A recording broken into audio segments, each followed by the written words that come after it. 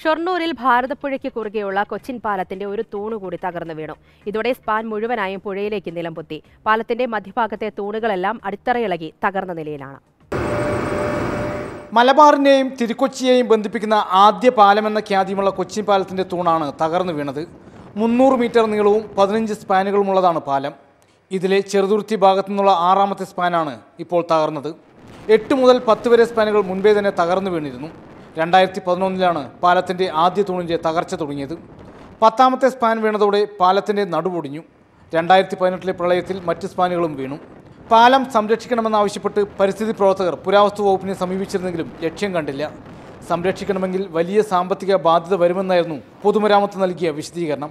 ഈ മന്ത്രിസഭ അധികാരമേറ്റ ഉടനെ ഇത്തരം ചരിത്ര സ്മാരകങ്ങളെ ബന്ധിപ്പിച്ചുകൊണ്ട് ഒരു ടൂറിസം പദ്ധതി പ്രഖ്യാപിക്കുമെന്ന ഒരു പ്രഖ്യാപനം പ്രഖ്യാപനമുണ്ടായിരുന്നു. ആ പ്രഖ്യാപനത്തിൽ ചരിത്ര ചരിത്രസ്നേഹികളായ ഞങ്ങളെല്ലാവരും സന്തോഷിച്ചിരുന്നു.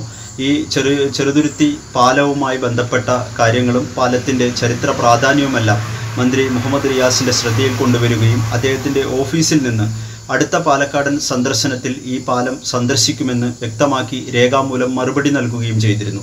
എന്നാൽ പിന്നീട് കച്ചവട തൽപരരായ ചില ഉദ്യോഗസ്ഥരുടെ സ്വാധീനത്തിന് വഴങ്ങി മന്ത്രി അദ്ദേഹത്തിന്റെ സന്ദർശനത്തിൽ നിന്നും പിന്നോട്ടു പോവുകയാണ് ഉണ്ടായത്. സുരക്ഷാ മുൻകരുതൽ എന്ന നിലയിൽ പഴയ പാലത്തിന് മുകളിൽ കയറുന്നത് വിലക്കിയിട്ടുണ്ടെങ്കിലും പലരും അത് പാലിക്കാറില്ല.